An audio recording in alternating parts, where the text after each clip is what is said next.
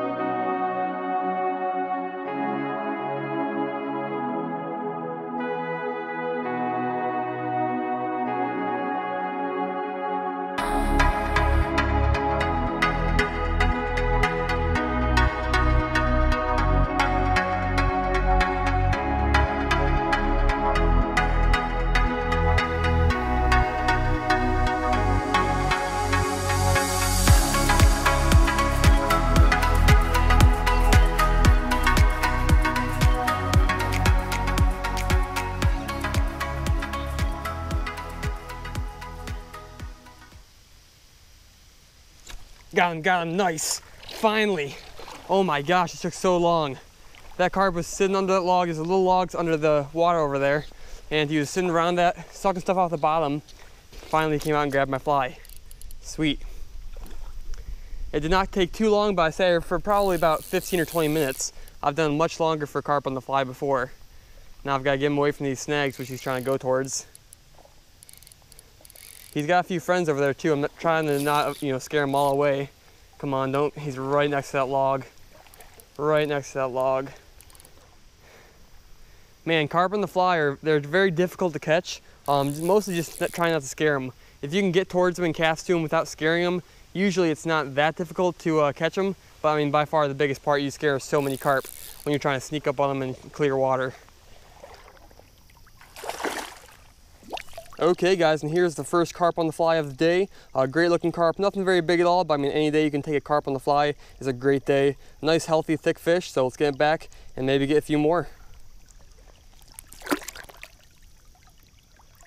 Super just thick fish, really good looking carp.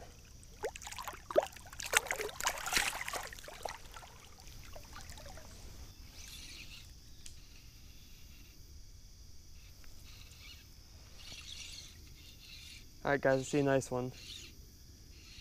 Oh, he's chasing it, he's chasing it.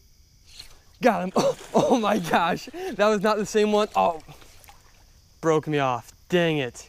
He wrapped under a log and broke me off right away. That was cool, but that, that wasn't that big of a carp, but I saw a really nice one feeding on the bottom. I cast it over to him and that carp, right when it hit the water, I saw another carp beeline right to my fly.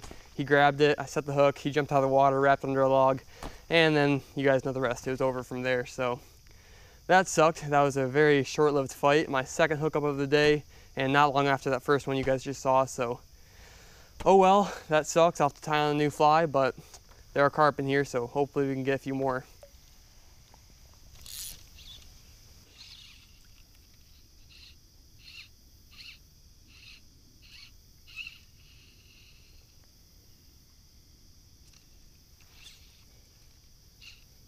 Come on, come on. Got him, got him. There we go, guys. Finally, get him over that log. The other one broke me off. No, come on, get over that, get over that, get over that. Don't want to scare all these other carp, but I'm going to if I'm trying to keep this one on without him breaking me off. That's the thing is, my biggest problem, and probably a lot of people share this problem, when you're fly fishing for carp, especially in rivers, you're almost always fishing for, er, like fishing around structure. There we go, got him over it. You're almost always fishing over structure, like you can see all these logs all around me. I have logs surrounding me. And those carp like hanging around that. That's the easiest spot to find them. But right when you hook them, they go right for those logs. And it is super hard to keep them on sometimes. I would definitely suggest going for carp on the fly if you guys have never tried it. I mean, it's very challenging. You'll have to sit there for a long time and watch those carp, uh, kind of, you know, feel them out, see what kind of mood they're in sometimes.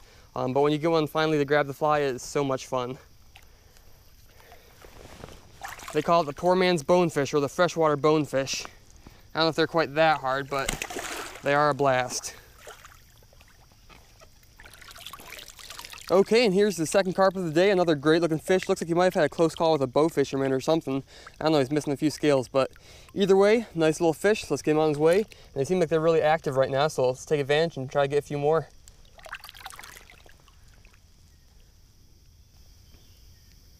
Ooh, there's a nice fish. Probably a good 15 pounder right on the edge of that wood there. Moving super slowly. He looks catchable.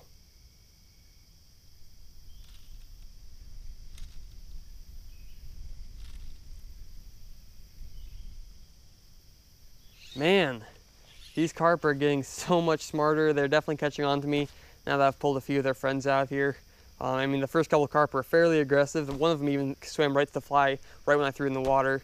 Um, but now they're like swimming right up to it slowly. And then when they get like a foot or six inches away from it, they'll turn away and stir up a bunch of dust and scare all the other carp away. So, you know, the fish are definitely getting a little more weary around here. So I think it's time to move on, find some new fish, some fresh fish, and hopefully get that real big one. So let's keep walking.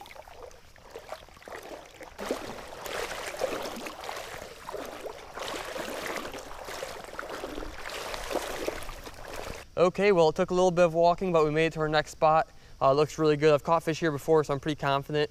Um, there's lots of overhanging branches that creates shade. Then you've got a little, a little tree in the water with some grass around it, and that's all a bunch of structure and shade for those fish as well. Um, so I can already see a few carp in the far back where I can't really fish, um, but that tells me there are carp around here, so I'm pretty confident. Um, just takes a little time to find some that come out and throw the fly to them. So hopefully we can get some nice fish, but let's get casting. Come on, come on. Got him. There we go. There we go. Finally, guys. Right at that hole I was talking about. And uh, we got a carp on. Please behave. Don't go right where you're going. Okay, time to backpedal. He is going under the logs. This is not good. This is, okay, we're pulling him out. Nice. Come on, behave, please. Man, I like it when they go out in the open like this. I can actually use my drag and don't have to like hold my spool or anything. Nice. And this is a pretty nice sized carp. I think this is probably my biggest one so far today. Uh, I, I, did see one giant carp earlier today. It's probably at least 20 pounds. Um, it was right in this pool actually, in this little like, structure area. And he was swimming right under the logs. He went right by my fly, but totally ignored it, of course. Either way, I'm super happy to finally get my third fish that I'm hopefully gonna land. I briefly hooked a few other fish earlier today, um, but this one's staying on pretty nicely and he's fighting well. And there we go. Definitely the best one I've caught so far today. Nice sized fish. Okay, and here's my third carp of the day. Great looking fish. Definitely bigger than the first two I caught. Um, still not a giant. I have seen some real big ones, which I keep saying that, but those bigger fish are just a lot harder to trick into eating the fly. I mean, these smaller fish are usually a lot more willing. So either way, good looking fish. It's starting off to be a real good evening. Let's get him back.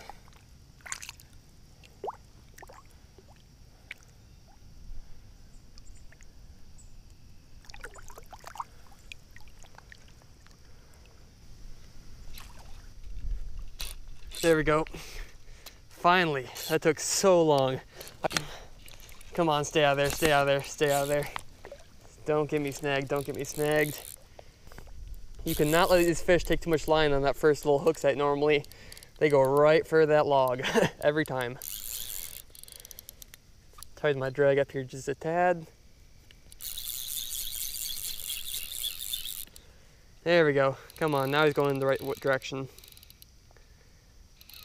Big old head shakes from him. He does not like this. I don't really blame him though. Not a bad little carp. They're starting to get really finicky here as well, just like that last spot where I was catching those carp. Uh, you catch a few here and then they start getting really smart and a lot more difficult to catch. I might be able to get one or two more. I kind of doubt it though, because it's been I've been spending my time, you know, trying to get these few carp I've been catching. Well, I think this carp is getting pretty tired and so is my arm, so let's try to get him in here pretty quickly. I think we might have an opportunity right here. Perfect. And another great looking carp, probably about the same size as the last one, but let's get him right back in the water.